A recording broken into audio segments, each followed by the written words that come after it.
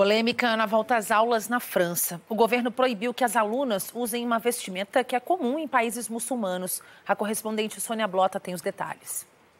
A baia, vestido longo que cobre pulsos e tornozelos, é um traje muçulmano com tecido mais leve, usado especialmente no verão. Só que as jovens islâmicas não poderão mais usar a roupa na rede de ensino francesa. A proibição vem do Ministério da Educação, que justifica que a França é um Estado laico e símbolos religiosos são proibidos.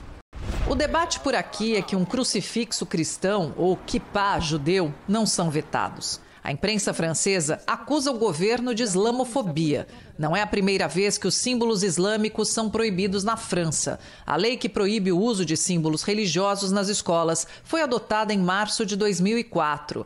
Mas, em 2011, o governo do então presidente Nicolas Sarkozy abriu uma verdadeira campanha contra o niqab, véu que só deixa os olhos à mostra. E não só nas áreas de educação, mas em locais públicos.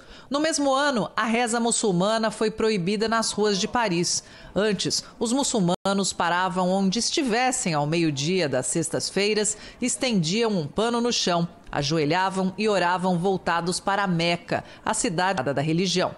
Desde então, a prática só pode ocorrer nas mesquitas ou locais fechados.